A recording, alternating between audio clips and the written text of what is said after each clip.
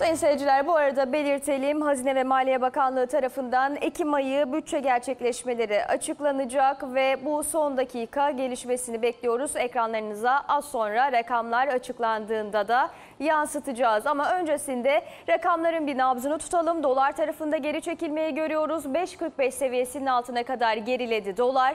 An itibariyle 5 lira 42 kuruştan işlem görüyor.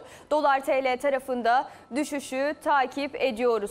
Euro'ya bakalım bir de. Euro da ekranlara yansıdı. 6 lira 16 kuruştan işlem görüyor. Euro da düşüşte. Bunda özellikle Euro dolar paritesindeki hareketlilik de etkili olmakta. Euro dolar paritesine döndüğümüzde Euro dolar paritesinin de önemli kritik seviye olan 1.13 bandını kırdığını takip etmiştik hafta başından bugüne kadar. 1.12'li seviyelerde hareket ediyordu.